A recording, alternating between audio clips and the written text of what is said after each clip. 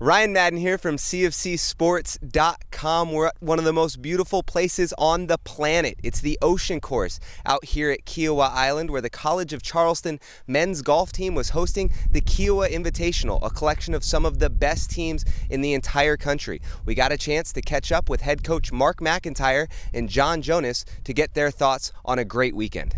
Yeah, you know, it's nice to start the fall at the Ocean Course and, and, hosting our event. There's a lot of work and a lot of energy and effort that goes into it that kind of takes away from our players. Um, but to be able to host here helps us with our schedule for the rest of the year and helps recruiting. So it's one of the things that we look forward to doing every year.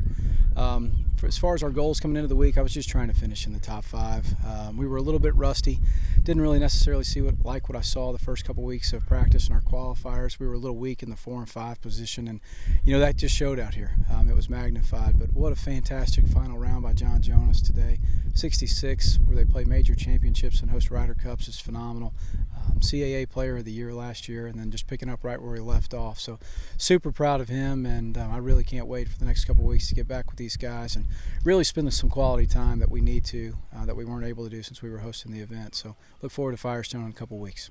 Well, the tournament was pretty up and down for the whole team. We had a great first day, first round, and uh, pretty pretty poor second round. Then we came out pretty hot today, and I had one of the best rounds of my life. So I'm pretty happy about today, but I'm pretty disappointed how the team how we finished. So we got to work hard for the rest of the year to get where we want to go.